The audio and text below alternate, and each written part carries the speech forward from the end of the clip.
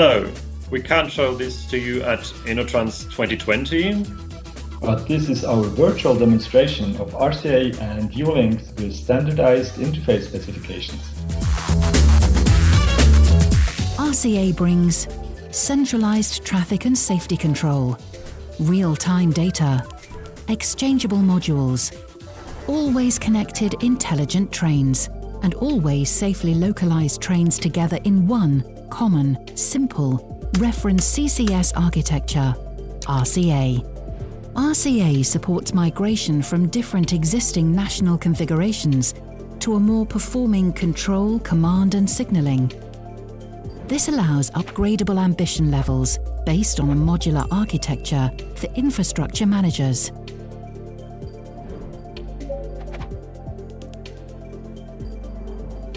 Knowledge of existing standards like ERTMS is reused and ready to record in the game changers. The interchangeability of components by interface standardization and information, as provided by EULYNX, are continued in RCA.